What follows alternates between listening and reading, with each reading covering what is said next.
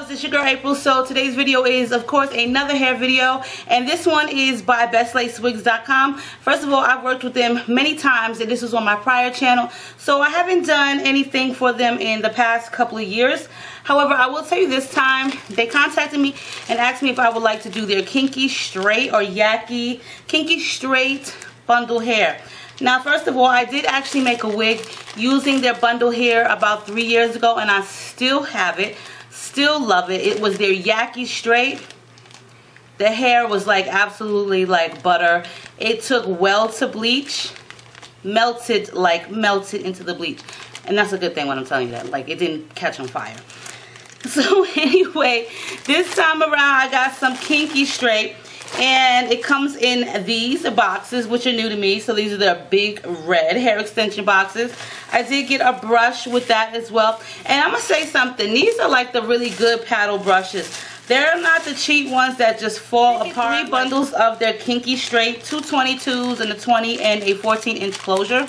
Now their hair is really affordable. Um, they do have wigs as well if you guys are interested in that. Clip-ins extensions etc etc to be kinky straight you can see that it is kind of full. However i'm going to be honest and say that the texture is kind of in between silky and like a light yaki it does have like the crimps in it or what have you however i will give them this. The hair texture is really really pretty. So each person has their own version of kinky hair. However kinky hair is more coarser to me and this is more or less kind of like a silky texture with like crimps in it.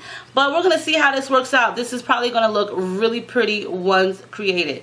Um, it is a double wefted. The beards on it is really decent. So this is the 22 inch and all of the bundles look exa exactly the same. They're identical to this one here. The ends look healthy um, so they're not all thin. They get a little bit thin at the very tip, but nothing like major. One of my favorite lace closures, you girls know that I love it to be the reinforced sides, like the heavy duty, heavy duty sides. So this is it right here. Um, this closure is actually a 4 by 4 inch closure. So it's like the standard size closure, not a lace frontal, but the standard size closure. And like some of the knots, I just noticed like there are a couple right around in this area here that probably could be a little tiny tweeze. But other than that, the rest of the knots, because I have it through the light, they look decent. It's just a couple in the middle that, you know, just could be tweezed a little bit. I'm just going to make this on a regular, you know, like cap wig. Just stay tuned for the video and we'll take it from there.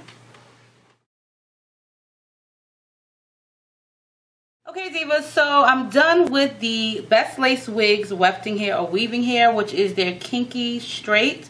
And like I said, it is kind of like a silky texture. I washed it after I created it and it did come back still crimpy, but the ends needed a little bit of flat ironing. So I did flat iron them, but however, I will tell you this, it doesn't seem to get straight. It doesn't stay kinky. It's more or less to me like a light, light yaki texture. So it isn't silky straight and it isn't like kinky, but it's more or less like a light yaki texture. Now for one, I will tell you about this wig. It did have a smell to it, um, kind of like a chemical smell, so I did have to wash it thoroughly. But the one thing about this unit, it took me like two and a half hours to create this one. Normally it takes me a lot longer, like five to six hours because I like really thread the heck out of my units. But for some reason this time I went super fast and I was done in like two and a half hours. So I was really thrilled about that. It curved left part on this unit and I did tweeze it a tiny bit because the knots like I stated in the beginning I did see a little bit of them but because the hair is so thick and it would have been a little bit well it would have not have been as noticeable as I would have liked it to be so with that being said, it's always created on a mesh dome stretch cap. No combs this time because I ran out, but I do have them now, so I will be putting this in later on. But I just wanted to keep her straight because when I get kinky hair, especially when it's kinky straight, I love for it to be straight. Um, sometimes I will put a curl into it. So in some portions of it, it looks a little bit more crimped than others, especially in the nape areas. Three full bundles. At the end, because I do like to sew my tracks pretty close, at the end, probably about there was probably like a quarter of it left. I did have to split the tracks in half. So the only thing that I want to do now is I'm going to put some concealer on this so that I can make it look like it's my scalp. You know, a little scalpage. There's nothing wrong with a little scalpage. Put the concealer on the inner side as well as that as I do the outside as well because I just all right, love. So let's get this thing going. Now, I already have a little bit of my hair left out for my leave out. I'm not going to use all this hair that I have out, but I just leave it out just in case. So creating the wig was so easy. Like, I cannot believe I did this in like two and a half hours. It was super easy. I don't know what I did different, but it just the time was just a lot quicker. And i think it has a lot to do with the hair texture and the hair itself. It was really easy to work with. So that's one thing. There weren't any flyaways or just hair tangling or getting through thread. The hair was super easy to work with. And you know the standard method my Toppik keratin fibers along with my concealer just to rub that into my scalp and hairline to make it look seamless. Along with that the Toppik keratin hair filler fibers actually fills out my hairline and makes it look so realistic. So one of my new top favorite hair glazes is the Ebin New York, which I do have a video on already on YouTube, which you can check out. This glaze is like superior to all glazes. And all I'm going to do is just glaze a little bit of my edges down and then brush them into the units. Okay, so I really do like this one, despite the fact that it doesn't stay as crimpy as I would like it, but it's more or less kind of like I said, a yaki texture, like a light yaki texture. So if you're up for that, then I say get the hair. Best Lace Wigs does have some really great hair. Like I said, I made a unit with their hair like some years ago. This was when I was living in New York still. So the wig is probably like three and a half years old now and I still wear it. It's their yaki texture. It's a beautiful hair. It never gives me any problem and the good thing about their hair it never tangles on me and I'm not sure if it's because of the texture but their wig never tangles on me it doesn't give me any problem so this did shed as I was brushing it out meaning as I was washing it when I was creating it it was like butter, smooth sailing, didn't give me any issues, didn't tangle, didn't shed. The only shedding came from when I was actually brushing the conditioner through. And maybe I'm a little rough, but I just really need to make sure that this conditioner gets through any type of hair.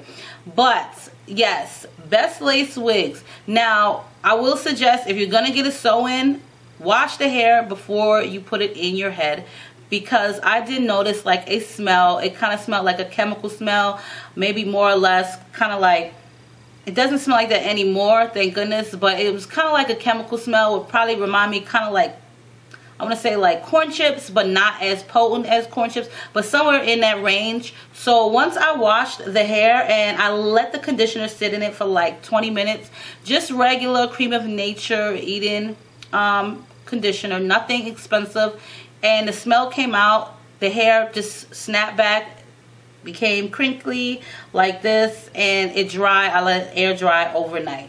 And that was basically it. So this is three full bundles and very full very full hair. So you really don't need a lot unless you're a close track sewer like me then make sure that you split the track in half when you get up to the top. I do like it a little bit thinner on the top, especially up here because I don't want it so bulky.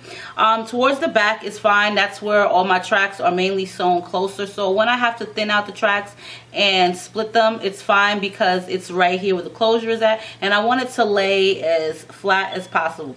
So for 22 inches, this is where she lands. And this is what the ends look like. So the ends aren't bad. I didn't trim them or anything. I just flat ironed them to kind of like straighten them out some. And like I said, it did get a little bit straighter at the ends. So I tried to steer away from the actual top portion because I wanted it to stay as kinky and, you know, just kind of like coarse as possible. But my favorite type of hair is like the kinky straight, the yaki straight. Um, I just prefer that hair opposed to silky straight like Brazilian virgin. That hair is nice too, but when you want it so many times, you want something that looks so much more like an African American texture. Than that, I will post all the information below for Best Lace Wigs website. They do sell wigs, wefting hair, clipping hair, you know, closures. I do love their wefting hair a lot. This is the second go round. And as well, if you're interested in a unit made or to get a custom unit made or video units that are already available for sale on my website. You can always check out gonewiththewindwigs.weebly.com and I'll post that information for you guys in the information box below. Make sure you rate, comment, subscribe, and as always, stay diva and divolicious, and I'll see you guys on my next video.